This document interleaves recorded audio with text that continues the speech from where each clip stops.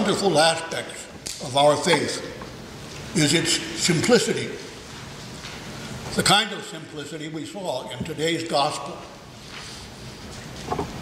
Here is a saying of Christ, so rich in meaning that biblical scholars can work long and hard digging out the wealth of implications in the text. And yet, so clear, so simple, that even little children can understand plainly what it means for them and for their faith. It's no wonder that Christ, the Good Shepherd, is a universal theme in Christian art. In this simple, easily grasped saying of our Lord, the entire gospel is encapsulated.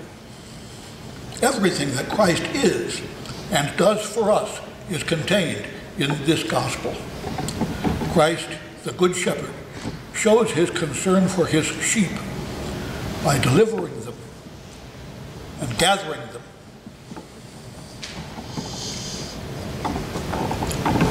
When our Lord said, I am the Good Shepherd, he had a definite Old Testament background in mind.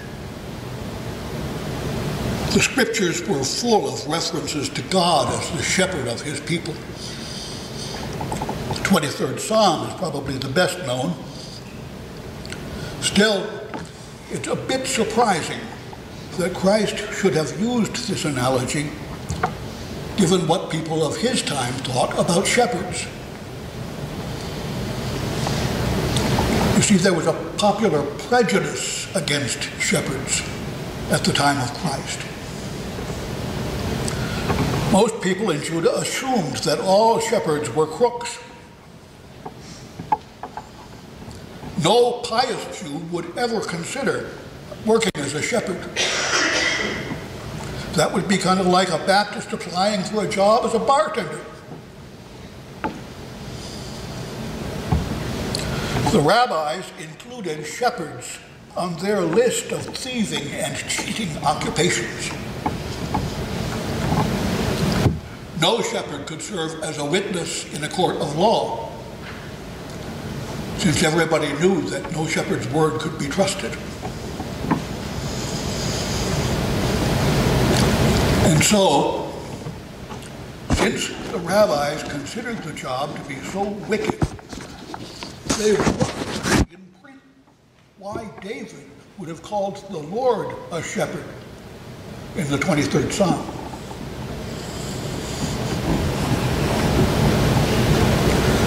But the scriptures contained yet another picture of a shepherd.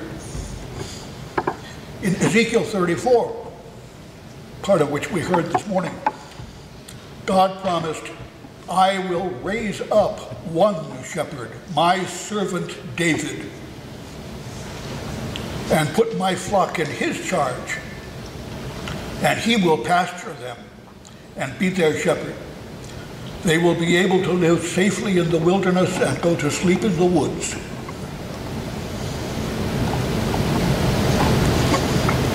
King David, you might recall, had once worked as a shepherd, tending his father's sheep,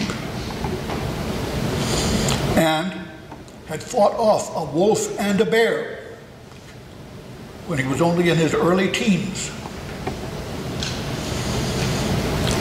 Then Samuel anointed him to be king, and David became the shepherd of God's people, Israel. A few hundred years later, Ezekiel prophesied a new king, like David, who would be the good shepherd to the people of God. So, when our Lord called himself the good shepherd in John chapter 10, he was claiming to be the king promised by God ages before. The Messiah, the promised king from the house of David. But Christ doesn't just say who he is, he shows it. The good shepherd lays down his life for the sheep. We are the sheep he died for. At the cost of his life, he has defended us against enemies that would have devoured us. The Good Shepherd lays down his life so that his sheep may live. A few verses later in this chapter of John, our Lord says, I lay down my life so that I may take it up again. And now, after rising from the dead, this is, after all, the third Sunday of Easter, after rising from the dead, our Good Shepherd continues to gather sheep into his fold. He has already gathered us in, fulfilling his promise. I have other sheep that do not belong to this fold. I must bring them my voice. There will be one flock one shepherd. I say we are the fulfillment of that promise because he was talking about gathering Gentiles, non Jews, into his kingdom to make one church. And we heard his voice in his holy word and saw the proofs of his care in the sacraments. Christ gathered us into his fold. For most of us, that happened when we were little children at our baptism. Now we belong to Him. He knows us by name, inside and out. He knows us. He knows our weaknesses and the dangers that threaten us, and He's always there to guard and protect us from all the attacks of the evil one. He knows us and we know him. We know his love and care that we saw on the cross. We know his concern for us as he voices this gospel. We get to know these things automatically. We had to learn them. Sheep don't get to know their shepherd by meeting him casually on the road. They get to know him in the fold through long association by continually hearing the shepherd's voice and experiencing his love and his protection. Ordinarily, sheep listen to the voice of their shepherd, and he leads them out to pasture and back at night to the safety of the fold. Ordinarily, sheep will avoid strangers But now and then, curiosity or the desire to experience something new different may lure them away from the safety of the flock into ways fraught with danger. That's how it is with many Christians who get bored with the pure ways of word and sacrament and want something more exciting than the church's life of faith.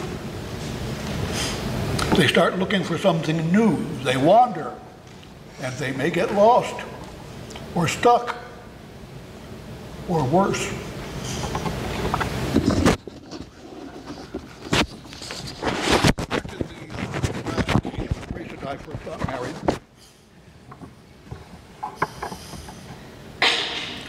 We lived for several years in the country and had sheep as next door neighbors. And I can remember watching them one day, and one of the sheep had gotten curious about what she might find inside a bucket.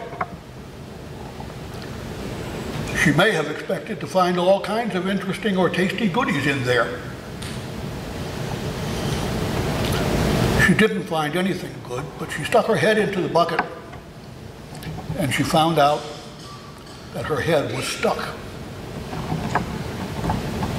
She tottered around blindly, banging into things, trying to get that bucket off her head, but nothing she could do would dislodge it.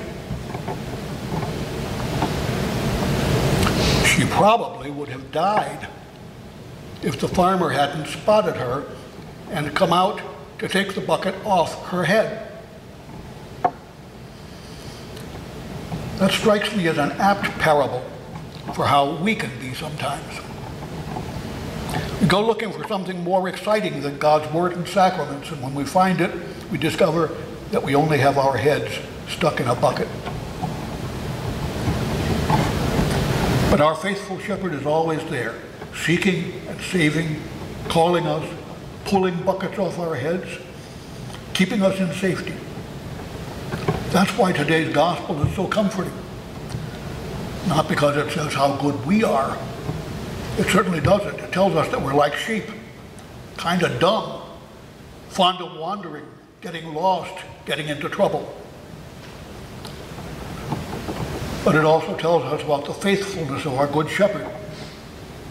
It's His love that binds us to Him. Back when we had sheep as next door neighbors, we also had a shut-in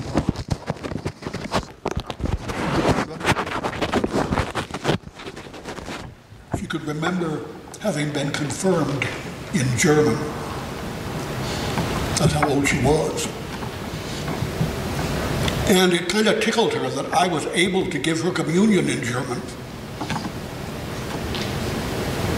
So I would do that. You know, once a month I would go to see her and I would celebrate the communion and I would do it in German. I'd learned that my first year in the ministry at St. Philip in Chicago, where I met my wife, took the prettiest girl away when I left. But uh, I was able to do a German service. And so I did every month with this lady. And the day that she died, I took her communion. And when I was done, she looked up at me and said, Ich bin doch Jesu Lamm. I am still Jesus' Lamb.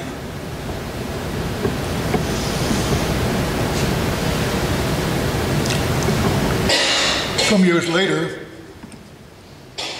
my oldest boy started kindergarten in Rochester, Minnesota. And Mrs. Azar, the kindergarten teacher, taught her class a song.